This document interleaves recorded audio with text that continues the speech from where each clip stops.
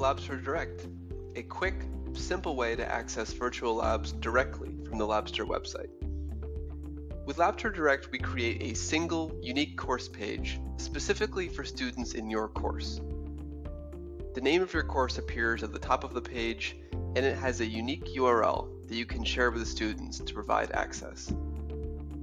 Instructor setup is just a few clicks.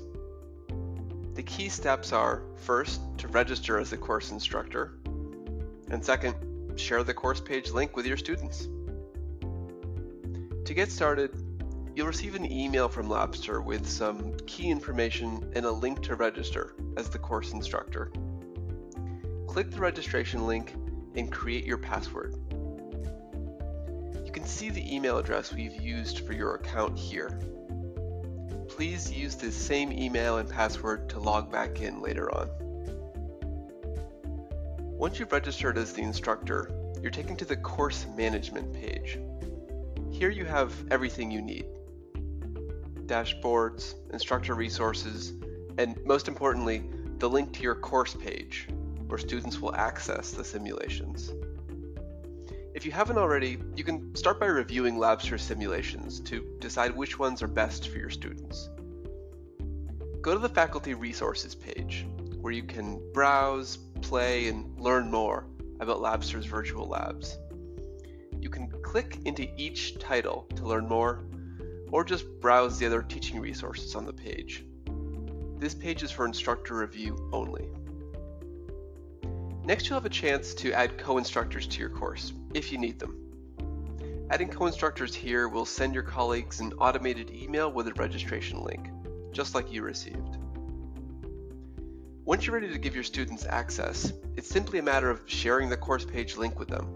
You can right-click the button to copy the link, or open the page itself and copy the URL from the top of your browser.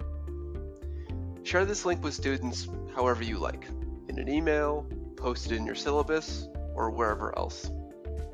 You may also want to share technical requirements and the student welcome video, as well as the names of the simulations you want them to play. Students should access Labster on a laptop or desktop computer in Google Chrome or Firefox. Once they have the link to the course page, students can get started. They just need to find the simulation you asked them to play, open it up, and log in.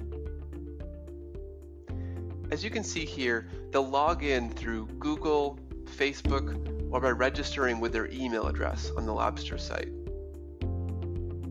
If students do register with their email address, we recommend they use their school email, if they have one. If students are being asked to purchase access, they will do so at this point as well, when they launch their first simulation.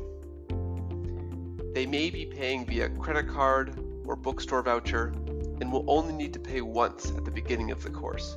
Again, this step only applies for student pay arrangements and it may not apply to you. Talk to your Labster representative if you're not sure.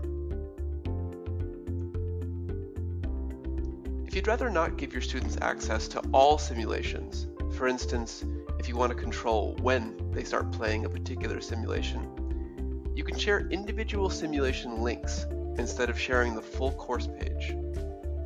To do this, just find the simulation you want and click Copy Simulation Link, and then share only that specific URL when and how you like. For instance, posting it in that week's assignment in your syllabus. To track student grades and progress, open the teacher dashboard to view the student results. You can also reopen the course management tab from here and notice that all of these different pages and tabs are connected once you're logged in as the instructor. To recap, as the instructor, you just need to register and then share the course page link with your students. For students, they need to open the course page, launch a simulation, log in, and then start playing. There's also a Labster Direct student video if you want to see the full student experience. If you have any questions, please just visit help.labster.com or contact your Labster representative or reach out to us in chat. Thanks so much for using Labster.